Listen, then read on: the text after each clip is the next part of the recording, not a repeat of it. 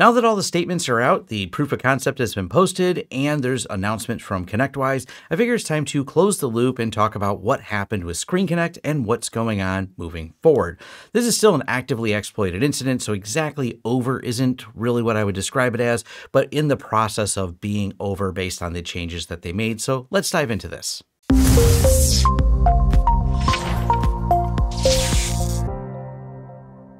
Now, the first thing I need to talk about is what is Screen Connect and how was on-premise sold because this is a big piece of it.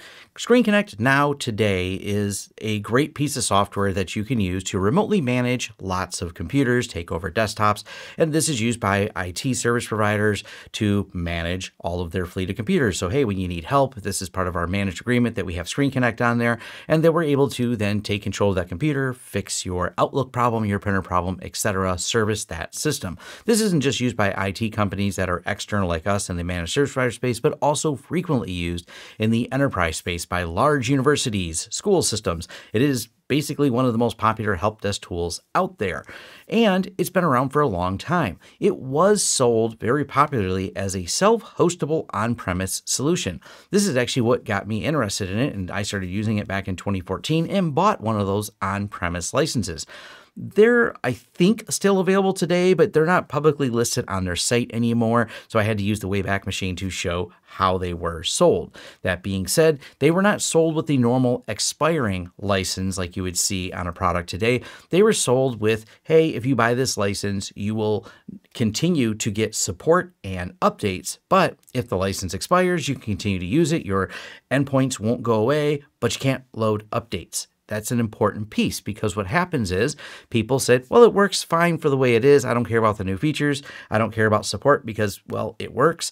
And we're just going to keep using it. Unfortunately, it's not just support or new features, it's also security updates you're missing. So some people just quit updating these. And when a major flaw was discovered in this system, this is what we did that live stream the other day about, and I couldn't give details because any details given, including how to detect it, would actually tell you how the flaw works. Now that the whole proof of concept is out and the details can be shared, here's a video showing just how quick that this can be done. Thanks to Huntress for putting this together, proof of concept. All the details are in the links you'll find below. Obviously, this is one of the worst case scenarios because this allows threat actors to not only take control of these systems, but then they have all of these other computers at their disposal to do what they want with. Undoubtedly, you know, the more popular thing here in 2024 is going to be ransomware attacks, but just the fact that they have system level access to thousands of systems. So even though Screen Connect is not something that most end users have heard of, the fact that for each place using it, whether it be a large university, internal IT team, or the many, many managed service providers. This means thousands of computers can be taken over for each one of these self-hosted instances. And how many are there? Well, according to Shodan, thousands of them, around seven or 8,000, depending on what type of search parameters you put in there that are the self-hosted ones showing up. I didn't filter through all of it. And even if it's a fraction of that that are actually real and not some type of honeypot, there's still a lot of them out there. This is why it matters. Now let's talk about the response and what is being done. ConnectWise did two really big things that I think are very good. I'm praising them for this behavior. First, ConnectWise decided to take the license and invalidate it. So when these things do their license check-in, even though they have the right to use it under the old terms and conditions, they decided to invalidate the license and break those machines. And you're going, Tom, why would you praise a company doing that? Hear me out.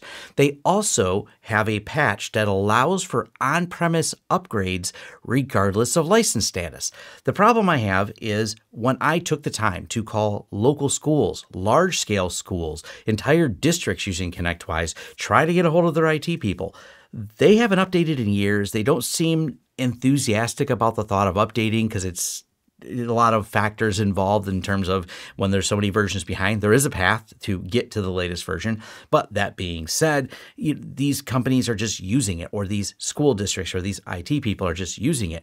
So getting them to actually shut these instances down is really, really hard. So by ConnectWise invalidating them, they are now forced to figure out what's going on, kind of poke their head up from the unpatched world that they live in and go, oh, I think I might need to do something about the tool because the tool's not working anymore.